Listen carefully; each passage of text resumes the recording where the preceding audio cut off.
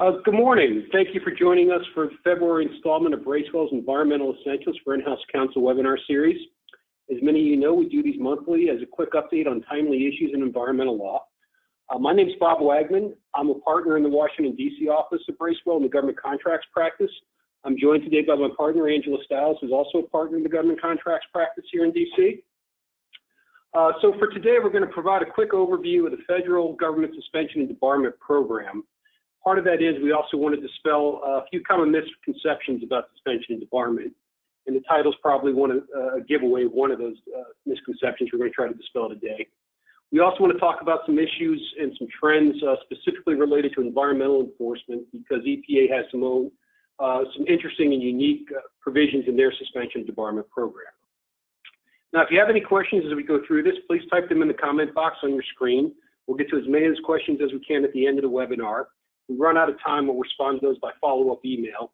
Uh, also, you'll see at the end we have our contact information, so if you're not in the position to send questions this morning, please feel free to reach out to us at your convenience, we'll try to get back to you as quickly as we can.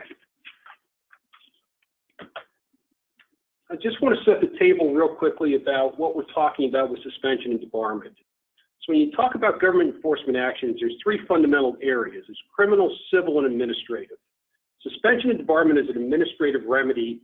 Uh, oftentimes, it's, it's going to be forgotten about when you're dealing with civil or criminal li potential liability, but it's one of those things that can be uh, really harmful to a company. I, I, I tell clients, you know, fines and penalties will hurt. Suspension and debarment can put you out of business, and in fact, there are a few companies that have been put out of business because of suspension and debarment. One of the things I want to mention at the outset is Suspension and debarment is a remedial remedy, not a punitive remedy. Why that's important is companies often will enter into settlement agreements where they'll get releases from government claims related to the covered conduct. That is not in, suspension and debarment is not included in those releases. So oftentimes you will see people uh, enter into settlement agreements with the government, get a complete release, and then be facing suspension and debarment sometime after that. So it's one of the things you want to be very conscious of uh, when facing enforcement activity. Uh, I also want to point out we're going to go through some of the basics and, and, and, the process because the process really is counterintuitive with other enforcement type activities. You know, oftentimes it's good advice to see how things play out and, and to put the government to their proof. And when dealing with suspension and debarment, that tends to be not good advice. So let's just cover some of the basics. And before we get started, uh, yeah, we talk about what? So you're talking about exclusion from all prospective business dealings with the government. And I, am very fond of a quote by Justice Breyer during oral argument a couple of years ago where he said, government money today is in everything. And of course, I exaggerate when I say everything, but only a little. So the government does business not just through government contracts, there's grants, guaranteed loans, many other things. And it also is going to apply to subcontractors, subgrantees. So even if you don't do business directly with the government, you could be you could be dealing with companies who will be prohibited from doing business with you because of their affiliation with the government. Well, let's talk about why. It's a lacking of present responsibility.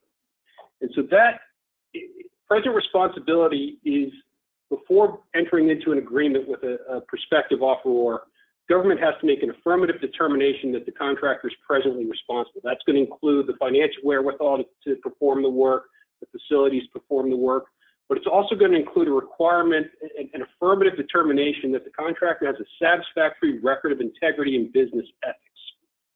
Um, and it's important to note that the underlying conduct does not need to be in connection with a federal grant or a federal contract that you can be found to be not presently responsible um, you know, who is going to be subject to suspension and debarment? It, it, can apply to individuals as well as entities, corporations, partnerships, divisions, affiliate organizations. And again, the company or the individual does not need to be performing government contracts uh, in order to be in order to be facing suspension and debarment. And you know, we talk about uh, some examples of that. So, you know, Arthur Andersen related to the Enron uh, Enron matter. They were doing business with the federal government the reason they got indicted and the reason they got in trouble had nothing to do with that government business. Yet they were proposed, they were suspended when the company got indicted. Ultimately, the company went out of business before that suspension could end. Um, I've also dealt with individuals uh, you know, one case that comes to mind, an individual was facing a civil suit by the SEC related to a, a, a disputed uh, you know, sale leaseback agreement where the other side supposedly didn't book the, the transaction correctly. And that individual is proposed for suspension by the GSA. Um, I want to talk about when. So there's no set time. So it can often come in years after the underlying conduct has occurred, even years after you've entered into a settlement agreement. I think Angela said her, her high water mark was 10 years 10 after. years after an SEC settlement, yes. So this can, it is something that can come back much later. So it, you do want to be proactive and keep your eye on it. Now here's an example uh, of um, one such settlement. So you can see this was a, a company entered into a settlement with the Department of Justice in 2016. In 2018, they were proposed for debarment, or they were added to the suspension and debarment list in 2018. Now, SAM, as you'll see here, SAM is an acronym for the System for Award Management. This is maintained by the General Services Administration, and this is the central list of all excluded parties. Now, there's a couple different regulatory regimes we're going to touch on. There are some minor differences we're not going to get into, but there's the procurement rule and the non-procurement rule. So procurement, for example, if you're selling fuel to the government for fighter jets or cars, that's going to be procurement of goods or services under the procurement rule. There's also the non-procurement rule, which will apply to things such as grants or, you know, if you have leases to do drilling on federal lands, as an example. That would be under the non-procurement rule. A couple different avenues to get on the list maintained by GSA, but once you're on the list, uh, on the excluded list, it's for all intents and purposes, it's going to be the same effect. I just want to touch on some statistics. Now, this is from fiscal year 2016. As of a couple days ago, this was the most recent, uh, the 2017 statistics had not been released. Just want to point this out, talk about some recent trends um, on some of the numbers.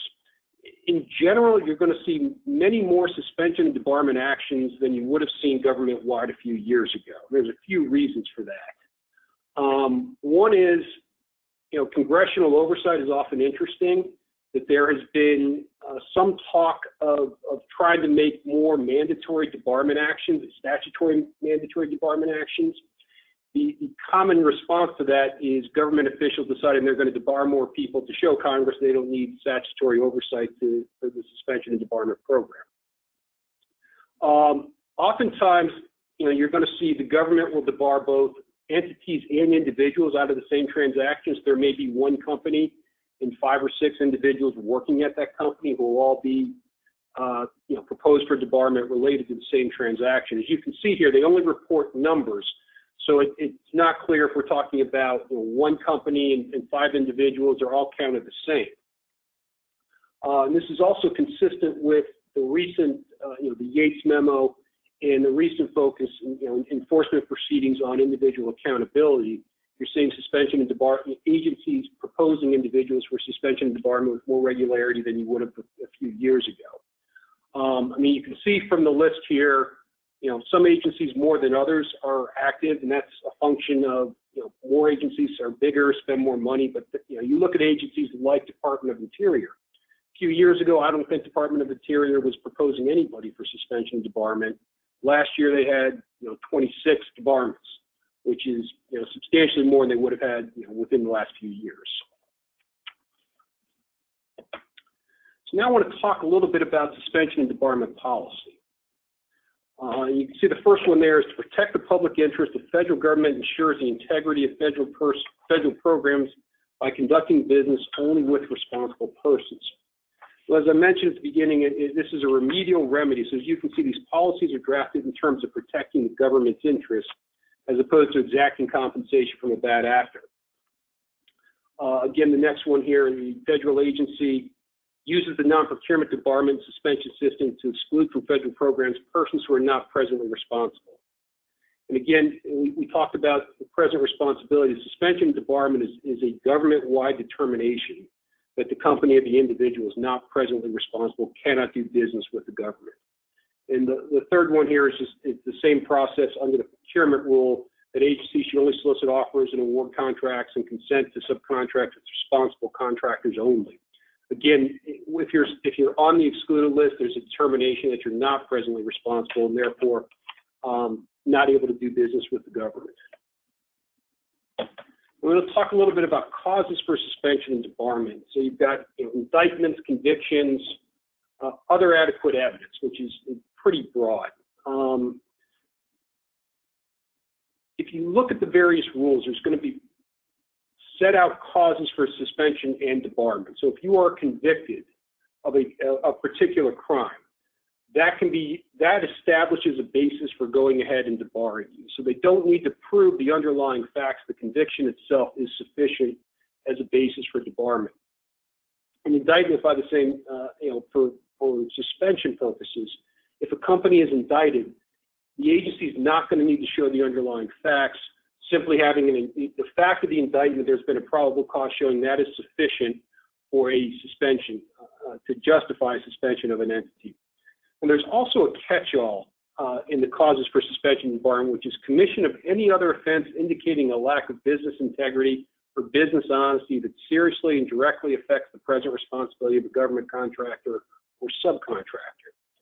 You know, in almost every debarment matter I get, get involved with, that is always thrown in. So it might be a conviction, but they'll also say that it's the commission of another offense. It also is a hook basically to show that there, if it's not an enumerated offense, such as unre wholly unrelated to a government contract, agencies can still rely on this catch-all provision um, as a basis for debarring uh, an individual or a company.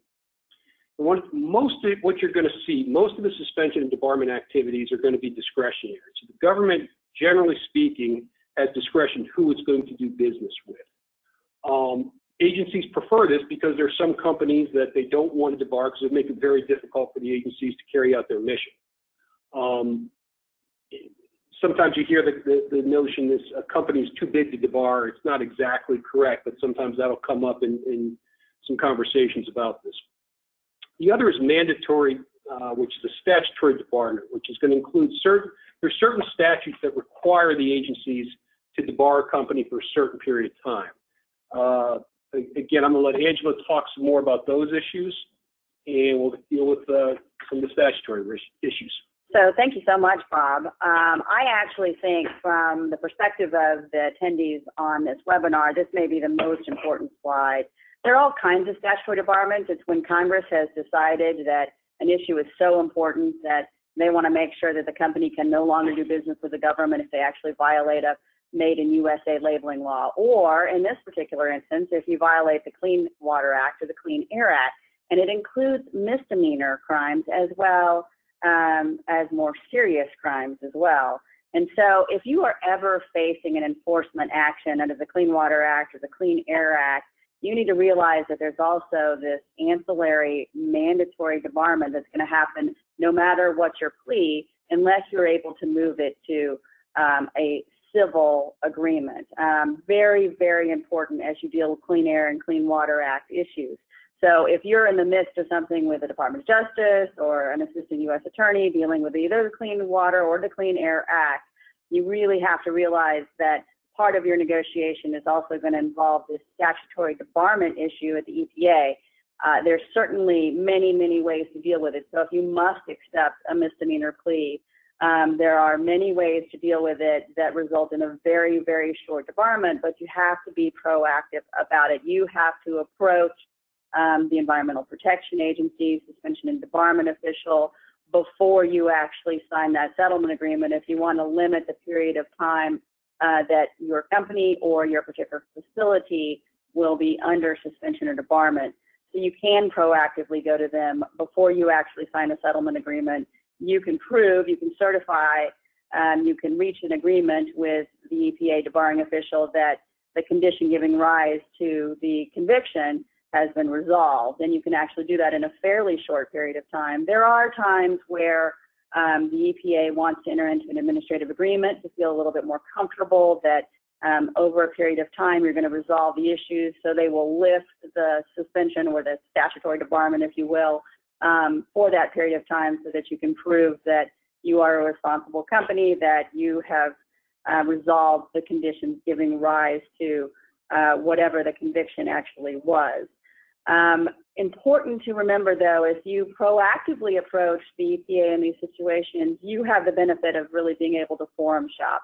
You can choose whether you go to the regional office of EPA or you go to the central office of the EPA. There's a lot of good and valid reasons for going to one or the other, depending on your particular situation, um, in order to resolve the uh, ultimate statutory debarment that would result from a criminal conviction. Um, sometimes the central office is easier to deal with. Sometimes your local regional office is actually easier to deal with. But why? Why is this important? You may be thinking, I don't have any federal contracts. It doesn't matter to me if I'm suspended or debarred when I actually settle this. It actually turns out, I think, as you heard Bob talk about, is that the impact is a lot more than just federal prime contracts and subcontracts. You won't be able to get grants. You won't be able to get assistant awards. Um, the Department of Interior also believes that you should not get leases or other approvals from them while you are under suspension of debarment. Um, I have question marks by those because I'm not sure that their interpretation of their own regulation is actually a valid interpretation, but who wants to be in the position of actually having to challenge that?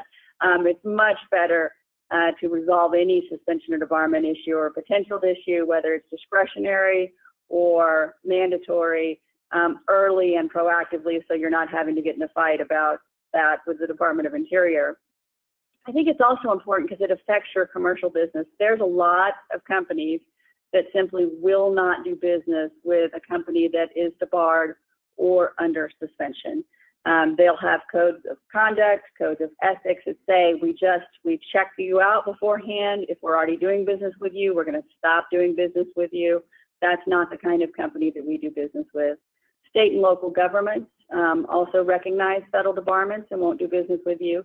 And, and frankly, a lot of it has to do with the reputational impact of a suspension of debarment as well. Um, I have seen companies that were rumored to be uh, suspended or were going to be suspended in the near future, and I've seen their stock drop 20 to 30 percent just based on a rumor over a period of a week. So it is very significant and more than just not being able to do uh, contracting, prime or subcontracting with the federal government. So how does the process work? Well, each federal agency has a suspension and debarment official. They're selected by the head of the agency. They are career civil servants in the senior executive service, which means they're insulated from politics. You know, from time to time, uh, we will have companies that want to bring in senators, members of Congress in order to lobby an agency out of suspension and debarment. They are very offended by that, insulated from it. They're also offended when you bring in a political appointee from a higher level at the agency because they do believe that these are independent uh, decisions within their discretion that should never be influenced by politics. On the other hand, they're also not judges. They're not administrative law judges. They're not federal district court judges. And that means that the processes from agency to agency vary tremendously. So you can have an agency like the Environmental Protection Agency, they have a very well structured, very formal process for how they approach suspension and debarment. Or you can have an agency like the Department of Interior, which is very informal. In fact, their entire process is run by their Inspector General's office, which is quite unusual. So each federal agency that you deal with um, will have a different approach to suspension and debarment. And it's very important to know that whether you end up in a position of being suspended or you're concerned you might be and want to proactively approach a suspension and debarment official, again, um, you can have the option of choosing which suspension and debarment official to go to if you think in advance, if you think about these issues proactively. Any suspension and debarment official in the, in the federal government can take cognizance over your case as long as you are able to make a case that they should be taking cognizance over it, and it may be better. So Interior might be better than EPA or HHS, depending on the type of business that you're doing with each of those agencies. Uh, as Bob discussed, this is a highly subjective process. The standards are very subjective. If you, um, if the suspension and debarment official really doesn't believe that you are a responsible company that understands whatever problems have arisen and is taking care of those problems, it is very hard to overturn their decision to suspend you or to bar, to bar you. It's the way the system has been set up. Um, they have a whole lot of power in the hands of these civil servants. I will say that most of the time, most of the time. Um, they approach these things with an understanding of what this does to companies. They approach suspension and debarment very carefully. Um, but if you get on the wrong side of one of these suspension and debarment officials, it is very hard in courts to overturn them. Um, we have overturned them in court before, but it's expensive and it's not fun, and it's better to work within the process, give them what they're looking for, um, prove to them that you are a responsible company, even in situations where something has gone wrong. How does the process work? Um, actual debarment requires 30 days notice. Uh, suspension can occur without any notice whatsoever and it can stay in place for 18 months. What usually happens is if there's a problem and you're dealing in the world of discretionary uh, suspensions and debarments, you'll get a proposed debarment with a suspension at the same time and an opportunity to be heard. Um, sometimes when there's um, there's enough evidence, uh, but they don't they're not ready to propose you for debarment, they will simply suspend you pending the completion of an investigation, pending more information. Um, you do get an opportunity to go in and speak with them, an opportunity to be heard, an opportunity to make filings at that point in time.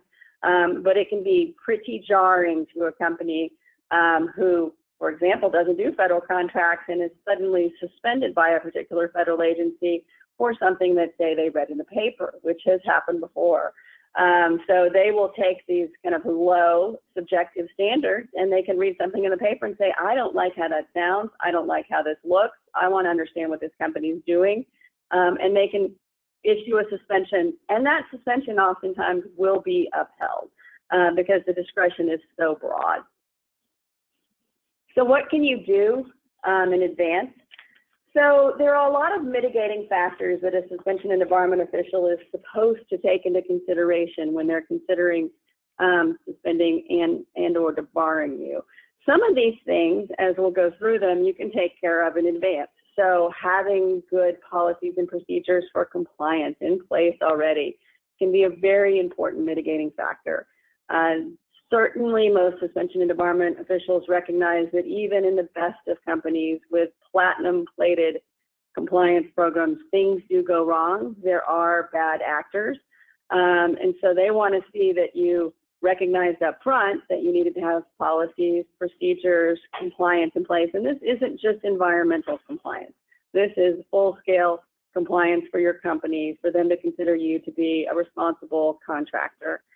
Um, but there's a number of other mitigating factors that are to be taken into consideration. So if you're confronting misconduct at your company, it's very important to keep in mind these mitigating factors.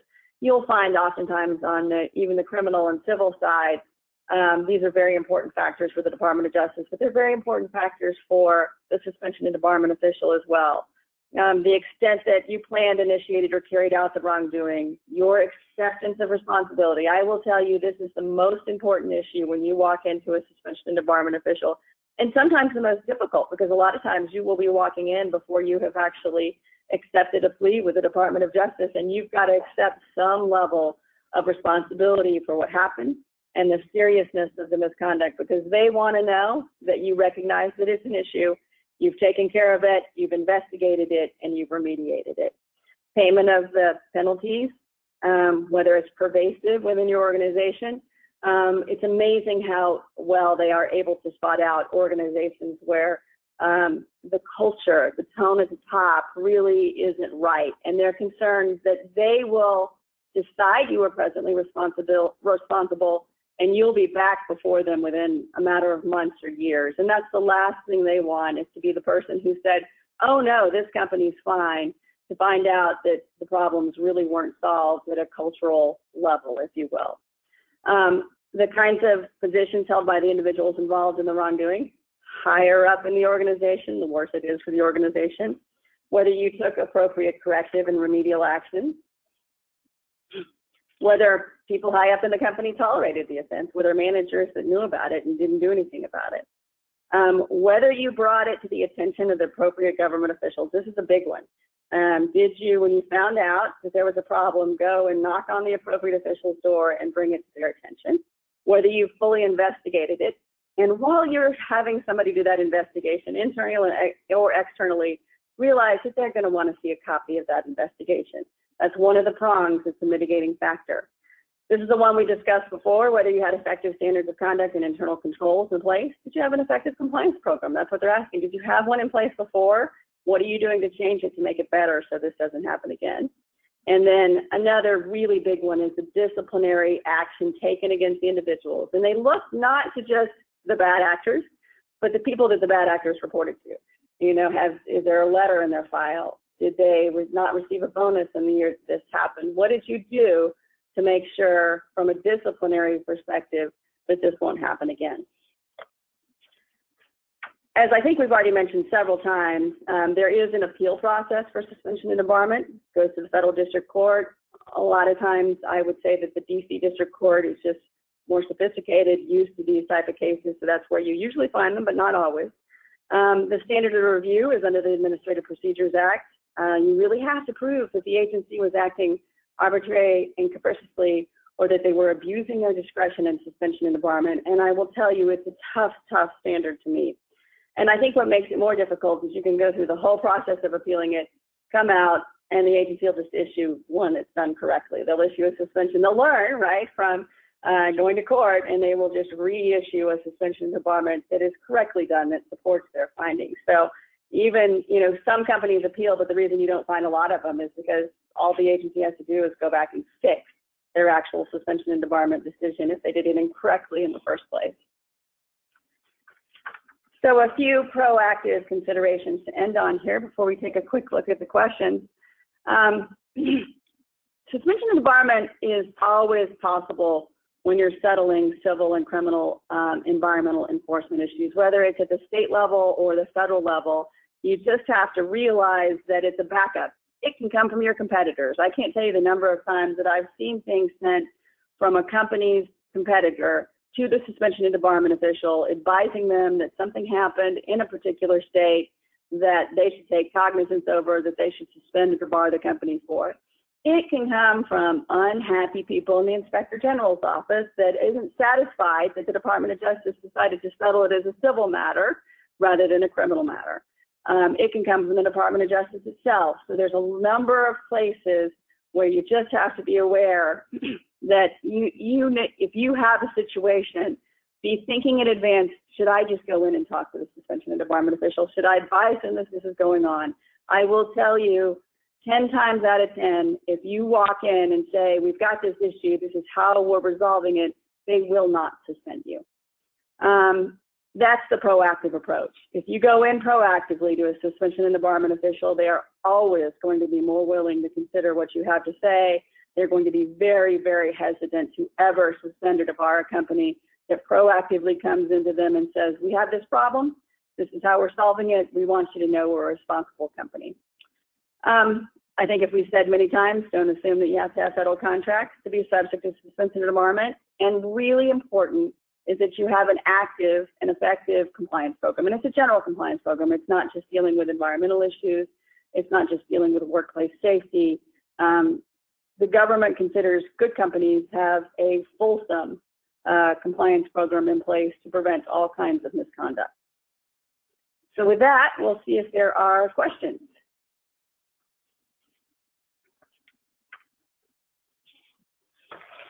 So one of the first questions is, um, many non-environmental and safety administrative violations are resolved as criminal matters. How do these convictions impact the company's U.S. operations?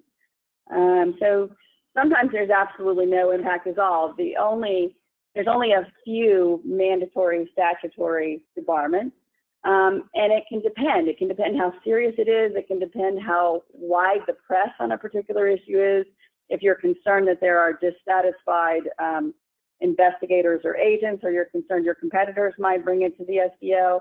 I have never had a situation where I regretted bringing a company into a suspension and debarment official proactively to discuss a particular issue. If you go in proactively, they are just much happier getting to know you. Um, they get to know your face. They are very hesitant to suspend or debar somebody that they have met that they realize has a good program in place and is willing to come forward with issues. Bob, did you have anything to add to that? No, I, I just think that you know, non-U.S. violations are going to be treated the same as sort of unrelated to your government business. That There is the catch-all that if they find that there's been, you know, if, if they think the company as a whole is not presently responsible, that can be a basis for them invoking the catch-all provision. Um, so it, it, it doesn't automatically, as Angela said, it doesn't automatically trigger suspension debarment, but certainly could be used for that basis. So with that, I think we are done with our webinar. Thank you very much for joining us today. If you have questions, our emails are right here at the end. Please give us a call or send us an email. Thank you very much. Thanks, everybody.